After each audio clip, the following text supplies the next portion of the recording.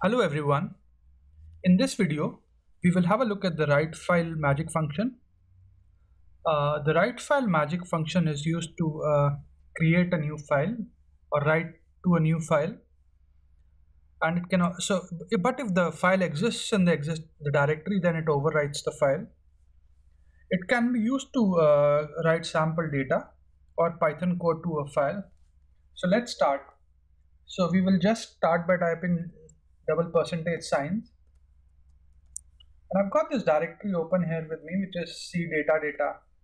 So if you don't specify the directory, it uh, puts the file in the default, default Python directory. But um,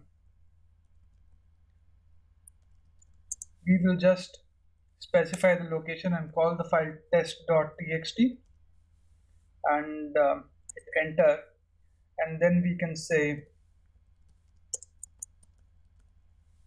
hello world. And then I just click on shift and enter. And let's just go back to the directory. And you can see that the file has been created. And uh, if I click on open it says hello world. So in this video we learned how to uh, write to a file from a Jupyter notebook using the write file uh, magic function I hope you find this video useful and thanks for watching this video.